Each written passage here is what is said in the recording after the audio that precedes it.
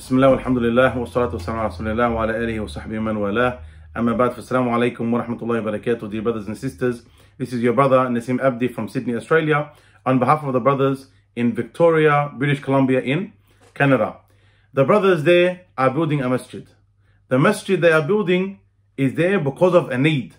That need is a lack of masjid in a particular area.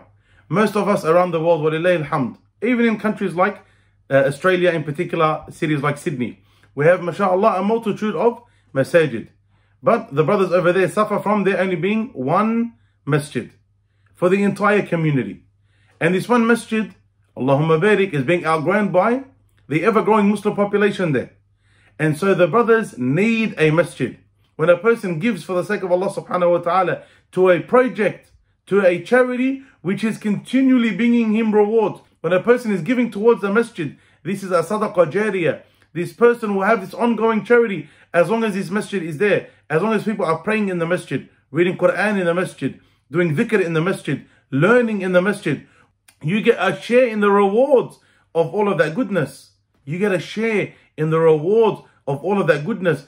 Dear brother, dear sister, if you are one who is continuously giving in sadaqah, continue to give in sadaqah, especially to projects like these.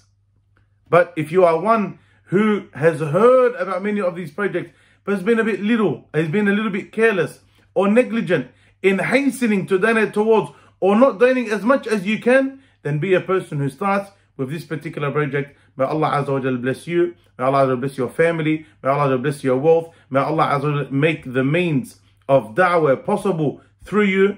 هذا والله أعلم صلى الله محمد وعلى آله محمد وصحبه أجمعين والسلام عليكم ورحمة الله وبركاته